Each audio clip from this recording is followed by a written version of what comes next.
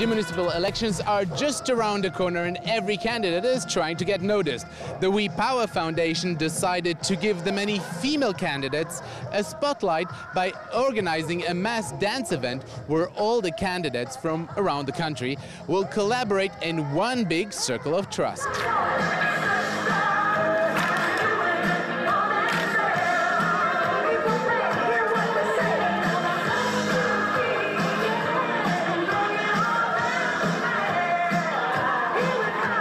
Ifat Zamir, the CEO of the We Power Foundation, who organized the event, knows how hard she has struggled to reach the point that women candidates and women's votes are now part of the election conversation. I would say it's going to be a journey, but it's a dot on the journey that's going to say it's not going to be the same because women said this is our right to be there around the table, you know, uh, making decisions. And I think this is the day that women here, as you saw, are going to say our vote, our ticket is gold and you have to treat us like this. It's not, gonna, it's not yours anymore without question. So if you're going to put women in the list, we're going to vote for you. If not, we're not. The highest ranking woman in Israeli politics today, Justice Minister and Chief Negotiator with the Palestinians MK Tzipi Livni, took time off from her busy schedule to come talk to first time women candidates participating. It took me some time and took some time to others to understand that uh, women can make decisions uh, on uh, Israel's security. And especially in Israel, when we are facing different challenges and different threats, and security for many years was connected basically to Israeli generals and uh, army veterans when a woman is coming saying, okay, I have something to say here, and uh, it's not talking about Israel's security, it's not only from uh, the military point of view, but security means much more than military aspects. Uh, so uh, it took some time, and hopefully people now understand it. But uh, yet, we live in a world of images and perceptions, and uh, sometimes we need to fight. And I'm here today to say to young women, do it.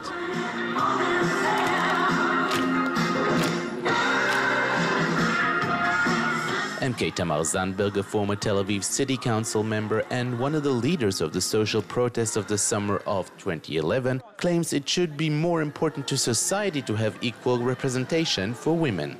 Um, it's very important for women to be represented, but I think it's more important for society that women will be represented because that means the decisions that are going to be made uh, will be actually better decisions. Because uh, if all decisions that are being made, you know, whether it's the government, the Knesset, or the local, the municipal authority, if they're only taken by half the population and half that are also of a certain age, of a certain uh, sexual uh, orientation, etc., it means the decisions are going to be very narrow and represent very small part of the society, and that, that hurts all of us. Mehereta Baruch Ron is one of the many Ethiopian women around the country running for public office for the first time. I don't think the problem is with the Ethiopian society. I think the problem is with the Israeli society. I think uh, for women, it's, it's not easy to be uh, in places that uh, decisions are made. It's tough being a woman, it's tough being an Ethiopian woman, black woman, and it's tough being a mother for three young kids, but that's why it's uh, crucial for me to be part of the uh, decision-making process. One of the big things that happening in the elections is that there's a guy who candidate to be a, a mayor of Kiryat Malachi. This is the first time that an Ethiopian candidate to be a mayor. So uh, things are happening and people are uh, uh, more uh, uh, optimistic. They dare, and uh, there are many parties that Ethiopian women are part of. We came from a very different culture, so it took time a lot of time 30 years 30 and some years before we we understood that we have to be on the board we have to uh, to play.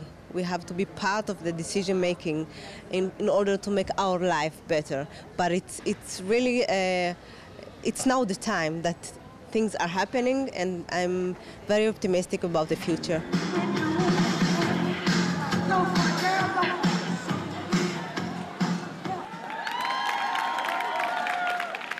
Israel is breaking records in these municipal elections in the number of women candidates. 42 women are running for mayor and hundreds more for various council positions up for election. For JN1, I'm Ron Jacobsohn at the Cinematheque in Tel Aviv.